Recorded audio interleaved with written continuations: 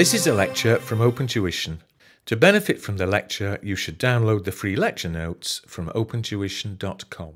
We're now going to go through and look at convertibles and warrants, and it's important that you can identify the difference between the two because they're, they're similar in nature but distinct enough to make sure that, you don't make the mistakes that students do make, if that makes sense.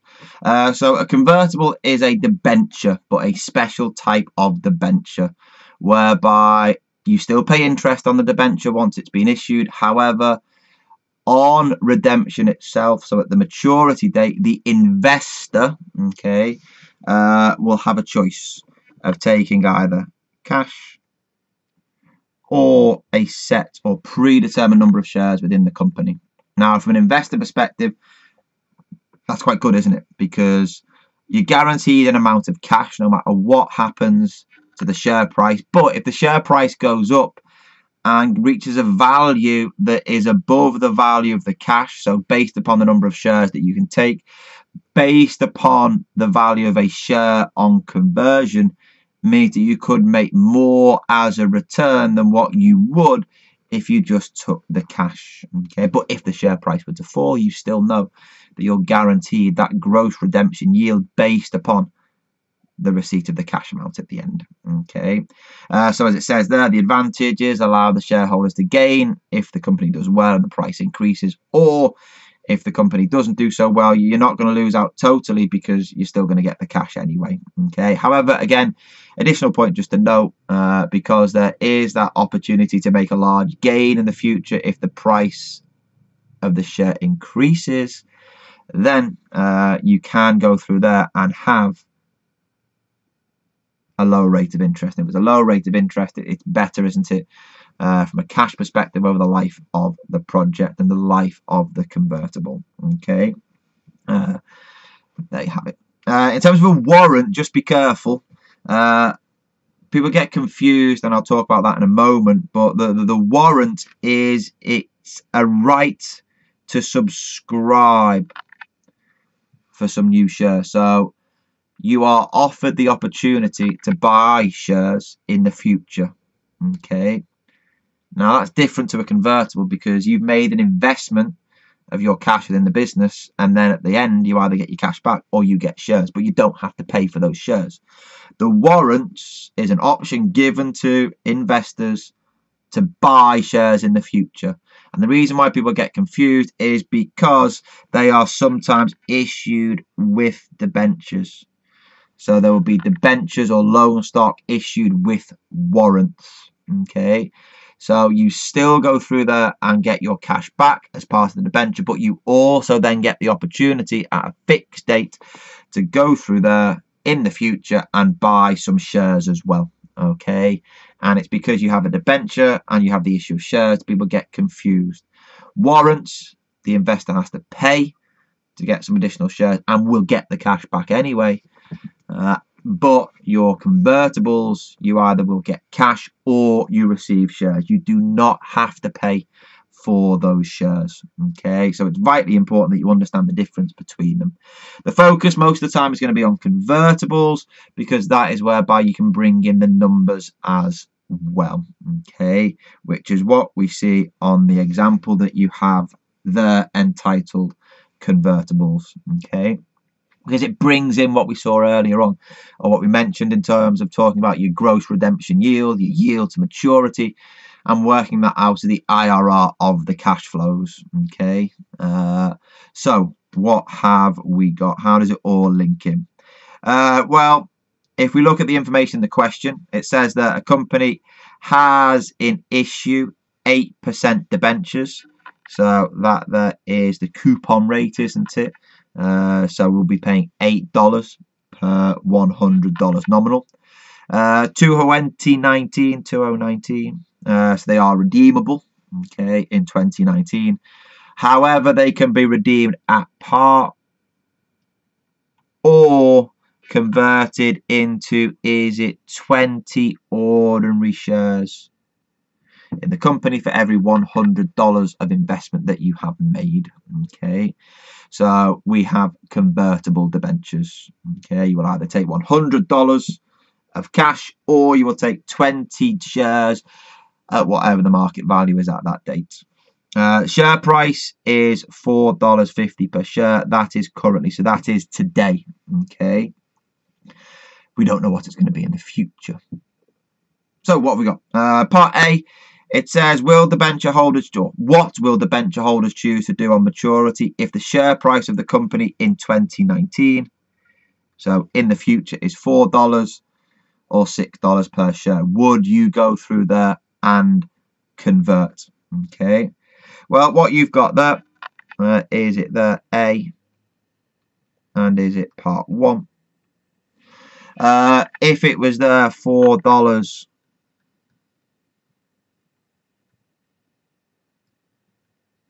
per share, then what you've got there, your shares, will be 20 of them at $4 each. Which gives me there, is it $80? Okay. Versus the $100 which is there for your cash. Simple decision, isn't it? What would the shareholders or the debenture holders, the convertible debenture holders do? Would they take the shares or would they take the cash? Which one's worth more? You'd take the cash, wouldn't you? Okay, it's worth a lot more, isn't it? So if the share price got to four dollars per share, you would take the cash, you would not take the share. So therefore, what what you could say uh, is that the debentures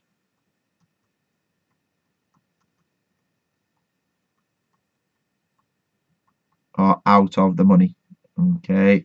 Because you are not going to convert them for the shares because the cash is worth more the shares are worth less okay? Uh, scenario two is whereby it is six dollars per share. I think you can guess what's going to happen but uh, so the value of the shares is it 20 shares they are now at six dollars each which is there at one hundred and twenty dollars isn't it? Okay. Versus again the same option of $100 cash. So I'd have thought there that we would here be taking the shares because they are worth more uh, if that's the case, as the shares are worth more, and this convertible can be referred to as being in the money. Okay, you will make more from taking the shares than what you would the cash. Okay, uh, just note that there is, if you like, a point whereby we would be uh, essentially is that say uh, in different. Okay. Uh. No, not not indifferent as such, uh, but based on what what we have at this moment in time. Sorry, uh, although it's not there in the question, uh, what you've got there is that currently they are at is it four dollars fifty per share so we have at the moment a share which is worth $4.50. If that's the case, at the moment, okay, what that means is your 20 shares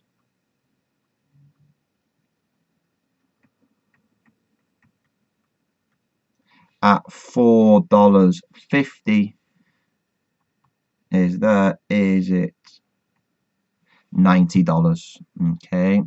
Uh, that is referred to is it there as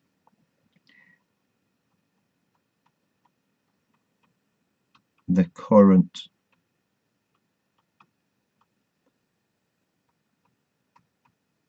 conversion value? Okay so a little bit of terminology there. Yeah, the current conversion value is there.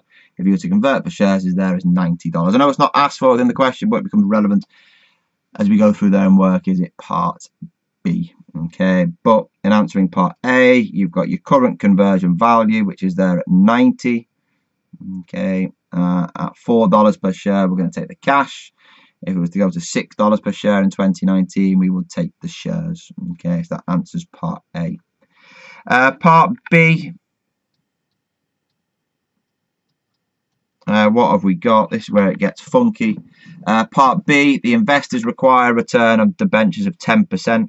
So that's your gross return, uh, your yield to maturity.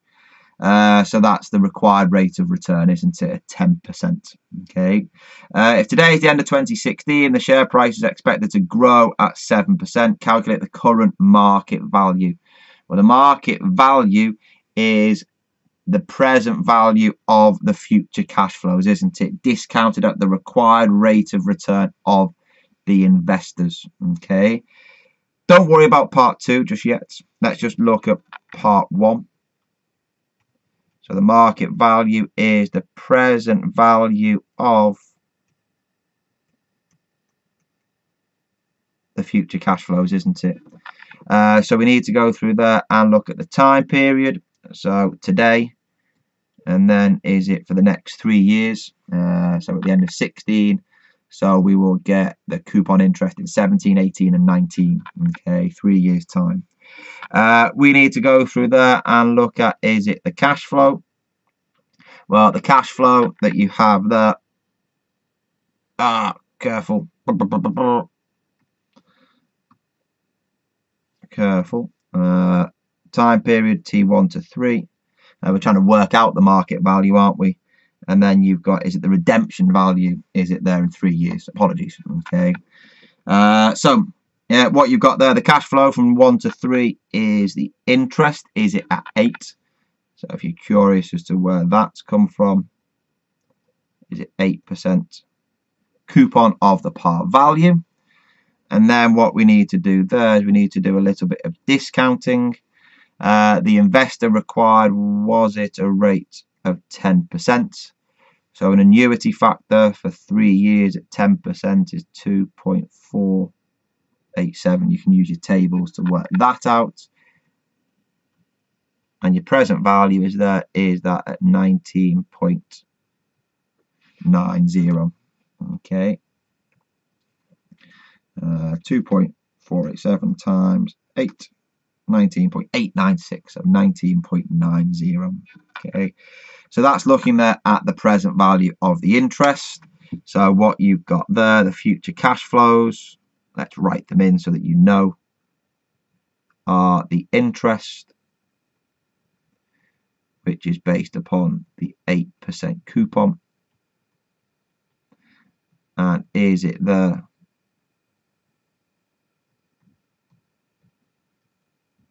the redemption value. However, the issue that we have there is it's a convertible.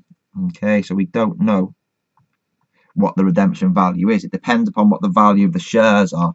So what we need to do is you just need to do a, a little working to see whether or not, based upon this growth rate in the share price of 7%, will that get to be above the redemption value at par. Okay, will it become greater?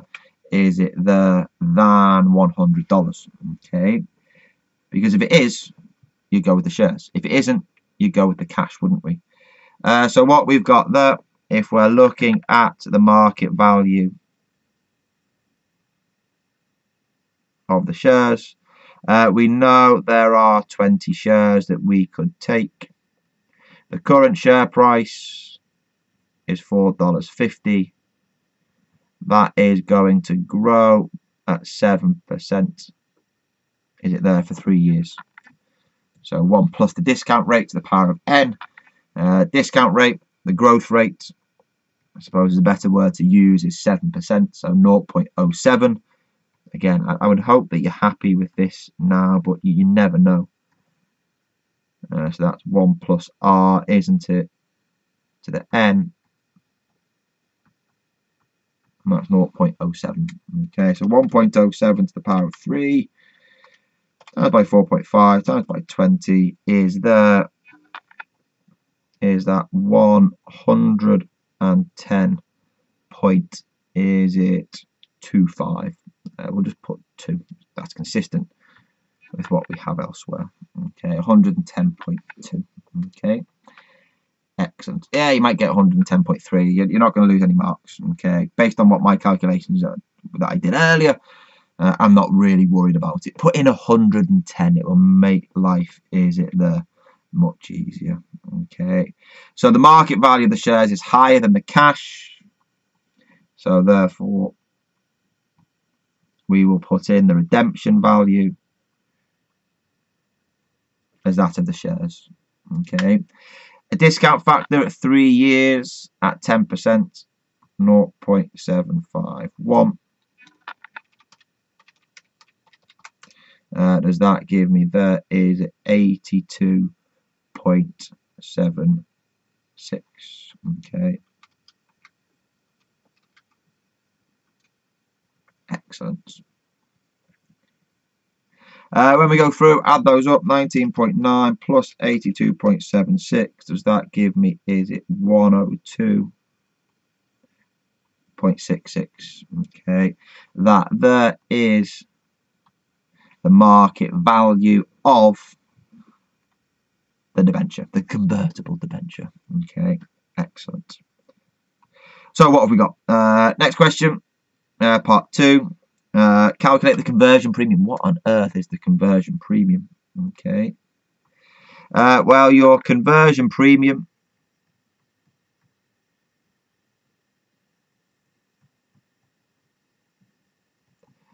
is looking at the excess of the market value that you get over uh, the current market value of is it the shares, so if you like the current conversion value.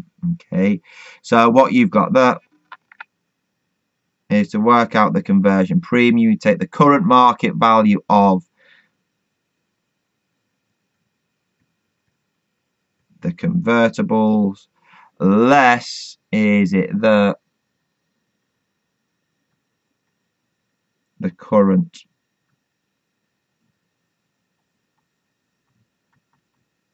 conversion value. Okay, uh, so it looks at the premium uh, that you get from, if you like, cashing in the debenture now compared to what you would get if you were to get the shares today.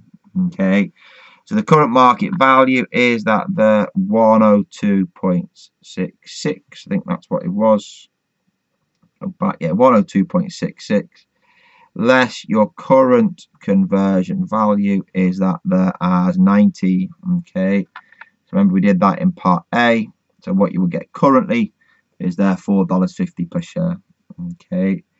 So does that mean that that you would get is it 10 12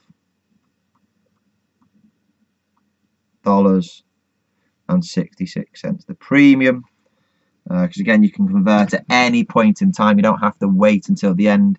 If you wait till the end you, you might just take the cash. You can't take the cash beforehand. You can take the shares at any point in time. Uh, so the current conversion premium is at 12.66. The difference between what you would get if you converted for shares now uh, versus the value of the convertible. What should happen is that should steadily get smaller and smaller and smaller uh, as the current conversion value increases as the value of shares increases because you would hope that by getting the investment from the investors what would happen is that you would invest that money wisely and therefore the share price would increase. Okay, the business makes more profits, the shareholders react uh, and push that share price upwards. Okay, so the conversion premium should reduce the closer that we get to the conversion date. Okay, make sure again uh, that you go through, have a play around with that question, work it yourself. Again, have a go at the questions that you've got within the study text, so make sure you work those examples from your chosen tuition provider and then have a play around with some of the objective test questions. I, I doubt you're going to get anything more difficult or challenging as that there. Other than that, I'll see you in the next video.